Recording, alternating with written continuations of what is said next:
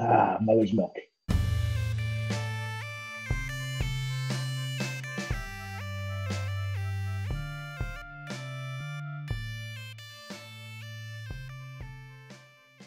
To it being the user, selling to a warm market versus a cold market. Um, about these kind of topics. So you can sell to a market that you know nothing about and you can learn. And I know you've done that in your career where you're not the user.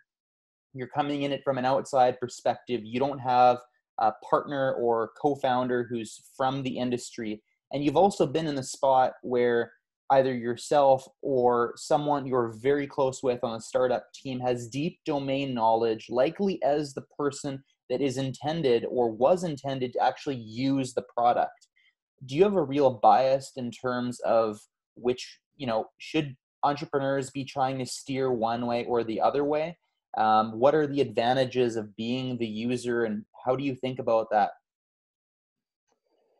um, so there's pros and cons of both of both of let's say our, our, our founding team has domain expertise and our founding team has no domain expertise in terms of knowing knowing the business of their target user.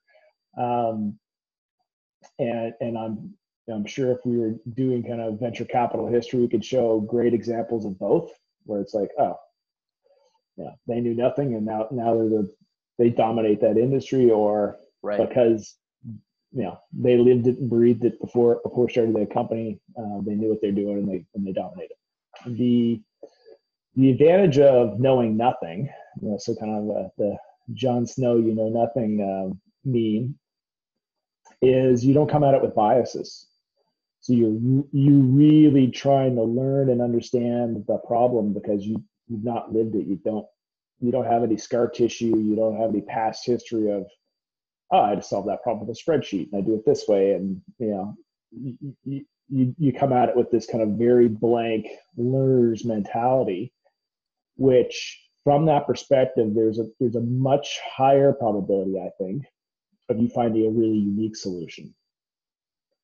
So you can find something really differentiated, something really novel, because you don't have a, you're looking for the clue. You don't have a clue. You're not trying to, you're not, you're not just traps and biases of, of, of your past history.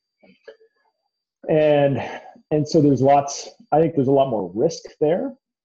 But like when there's a lot more risk, there's a lot more upside. So there's a bigger chance that you can find kind of a totally novel product that blows the, you know, you can create that kind of monopoly in that niche of I've built the only product that does that because I came at the, the industry problem or the user problem with kind of a blank slate.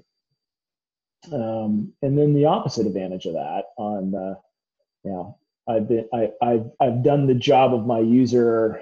I've built companies in the space already or operated companies in the space already is you have a playbook. So you have all these biases that if you really, right. I don't know. I don't have to do like that type of user discovery. I need to figure out how to, how do I map, how do I take that problem that I understand really, really well and map it to the technology and then verify that I've got the right tool in front of in front of what used to be me as a user, um, without you know kind of the bias that kind of goes in that of like it's my baby. so there's there's you can accelerate a lot faster with domain knowledge because you'll have relationships, you'll have kind of a kind of an innate and deep understanding of, of how the how the how the job works or the industry works. Um, and so you've de-risked the company a lot. So like there's there's a risk reward trade off for those two different scenarios.